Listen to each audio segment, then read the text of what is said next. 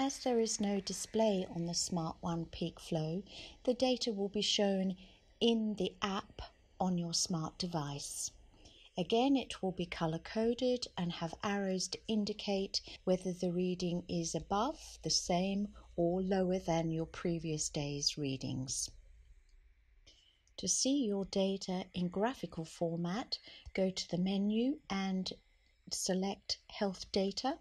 This is showing 365 days, and looking across those days, you can see two lowered peaks where there have been probably chest infections or other respiratory problems that have reduced the peak flow reading. The reading is currently within normal parameters. You can also add manual data entry, and these are subjective scores, including such aspects as cough, appetite, breathing, and energy.